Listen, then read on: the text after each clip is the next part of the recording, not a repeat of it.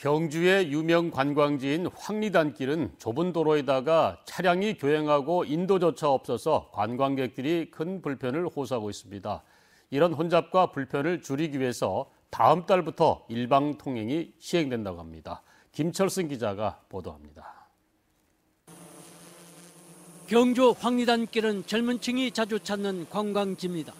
맛집과 카페, 옛 정취를 느낄 수 있는 가게가 속속 들어서면서 주말과 휴일이면 관광객들로 북적입니다.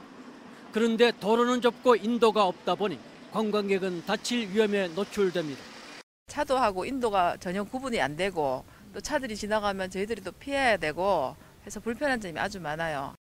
경주시는 관광객의 불편을 덜어주기 위해 다음 달 1일부터 일방 통행을 시행합니다. 내남 사거리에서 황남 초등학교 사거리 방향으로 700m 구간이 대상입니다. 일방 통행으로 생기는 여유 공간에는 인도를 개설합니다.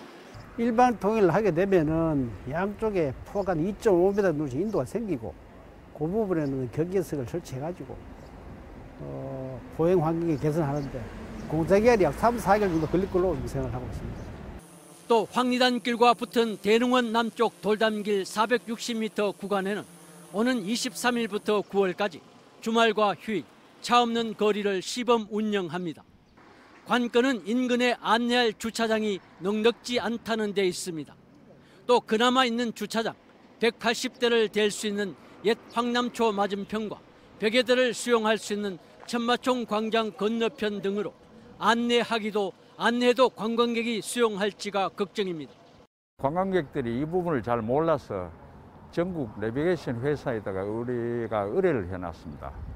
그러니까 황리단길 앞으로 오시는 분들의 주차 난에는 뭐 많은 도움이 안 될까 그렇게 생각하고 있습니다. 경주시는 궁극적으로 황리단길 남쪽 들판에 2천여 대를 수용할 수 있는 환승 주차장을 지어 셔틀버스를 운행하기로 하고 행안부에 지방재정투자 심사를 요청했습니다. 3, 4년 걸리는 이 사업이 순조롭게 추진되면 황리단길의 혼잡은 크게 개선될 것으로 기대됩니다. MBC 뉴스 김철승입니다.